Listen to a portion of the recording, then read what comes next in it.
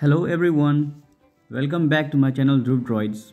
So in the channel we discuss about robotics in general, drones and also simulation. This is part 2 of the track chain simulation using multibody dynamics in Adams view. So in the last video we had set up the model so that we could use a Python script to create contacts and I had mentioned that this is a crucial step because the number of contacts that we are dealing is quite high. So in today's video we will complete the entire simulation.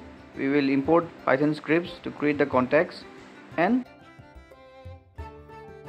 I would suggest you watch part 1 of this series to have a better understanding of the simulation that we are working on. Uh, the link is in the description so we start with uh, adding some components to the assembly. We have the model here. I have removed all the contacts. We will be creating them using the python script. So I will just create a link that is a solid body available within Adams. Uh, this is basically the structure which will be connecting the sprocket the idlers and the smaller rollers overall so we need to add revolute joint between this link and the sprocket uh, revolute joint. Similarly we will do that for the idler and the link as well. So this way we have created revolute joints rotational joints between the main structure and the sprocket and idler. Let's simulate and check it out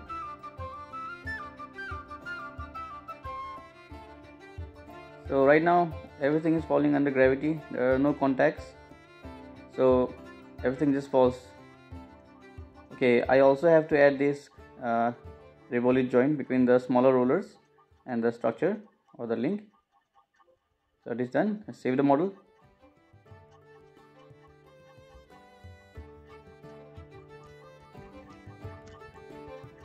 Our model is near completion.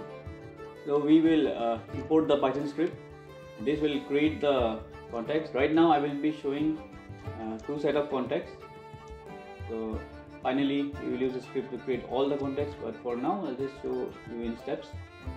So we will create contacts between the ground and the track links and the track links and the sprocket. So for that uh, you can see there are no forces in the force collector. I will go to import go to Python script. And then I will read the Python script that is script 3 in this case. So once I import you can see in the context section on the core section there are contacts which are created. The red color on the main window. The red color icons. So here you can see I have created the contacts. I'm verifying that the contacts are correctly created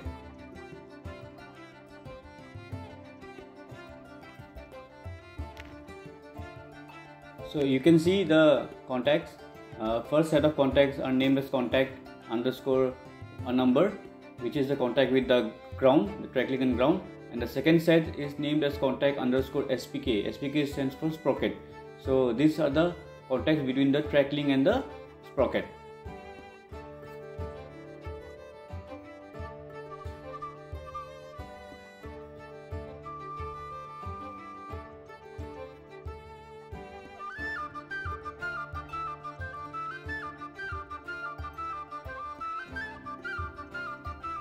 so i'm verifying the contacts. You can see that uh, each contact window has a solid i solid and a j solid. So j solid here is solid 4 which is corresponding to the sprocket. It is part 5 and the other object is solid 40 which is one of these links which is highlighted right now. So this way contact between every of those links 36 link and a sprocket has been created okay I just simulated this. And you can see the track chain are on the ground whereas the other structures just fell through. Uh, in the simulation our idler fell through because we do not have the contact. So I will import the script again with the contacts for the idler as well. So now i'm showing you the different set of contacts. We have three set of contacts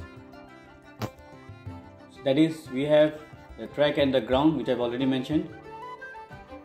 So these are the set of contacts. That is contact spk this track and the sprocket. And the third set of contact contact underscore idk is the track and the idler. So now we just created the three set of contacts. And let's simulate and see what the results are. I'm getting a warning some error yeah. Okay there is a joint which needs to be deleted. I had kept those joint in for the beginning when I was not having any contacts. This is the joint a fixed joint. We deleted this. Now we are running it.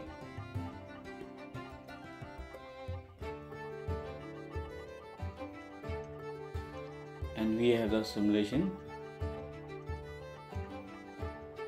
Okay so everything looks fine. So you can see that the contact between the sprocket and the track chain the idler are all working well. We need to add a few more things before we can complete the model. Uh, we need to add the track adjuster.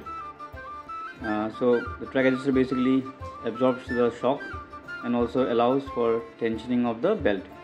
So we are building that now. So this red cylinder will become the part that we call the track adjuster in an actual machine it is basically a cylinder with a piston. And once we are done with this we will have to create joints. So I'm creating the joint now a translational joint that is between the cylinder and the structure of the track. And also another revolute joint between the roller or the idler and the adjuster. This way we we will allow the rotational motion of the idler as well as the to and fro motion of the idler. Now we can go ahead with the simulation along with the current changes that we have added to the track frame. But before that I think we will have to add the contacts because those have been deleted. Uh, so this is the final import. This is the final script the python script which will create all the contacts. So there are five set of contacts. So i'm showing you here. As you can see the first set of contacts is between the ground and the track. I have already explained that. We have the sprocket the idler and the additional two rollers at the bottom the smaller rollers. So roll 1 and roll 2 these are the contacts which represent the contact between the track link and the smaller rollers. So all of this is done. I am adding some force to the track adjuster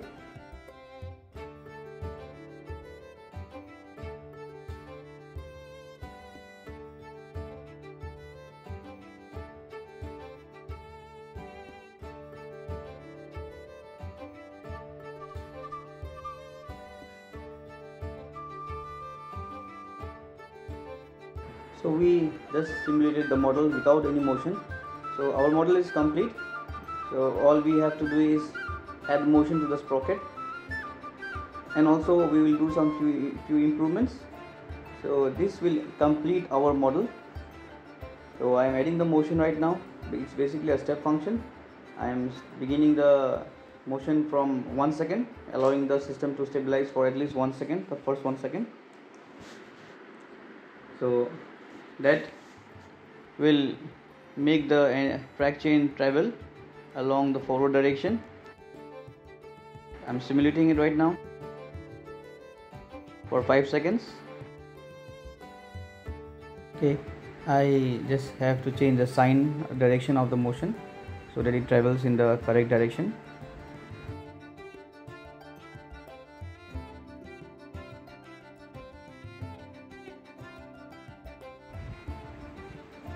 so this is the final simulation.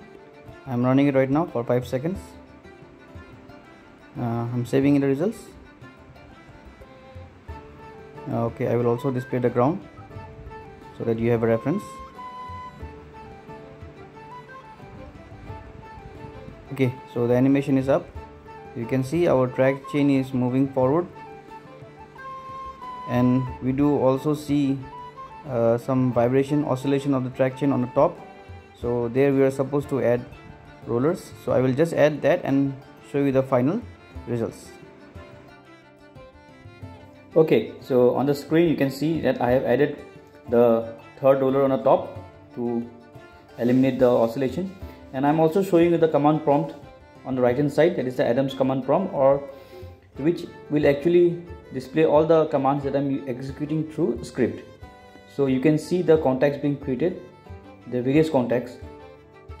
I'm highlighting them right now. So the one that are highlighted are the contact with the roller 3 so this is a roller on the top. So along with all the other contacts these contacts have also been created now. With this our simulation is completed. And in total we have created 216 216 contacts. That's because I have kept the number of rollers to a quite minimum. Usually there are more than 10 rollers in the machine. So on the screen now you can see the final results. So we have eliminated the oscillation of the track chain on the top by adding the extra roller and also you can see the graph. The graph belongs to the track link which I'm highlighting on the screen the magenta color track link. So this is the contact force of the track link with the ground. So you can see how it is varying with time. And the results are also quite good so we have come to the end of this video and the series as well. So I will come back with more videos uh, maybe more automation with Python script and also more on multi-body dynamics. So for for more of these interesting videos do like my video do subscribe and also press the bell icon. Thank you all guys. Thanks for watching. Have a nice day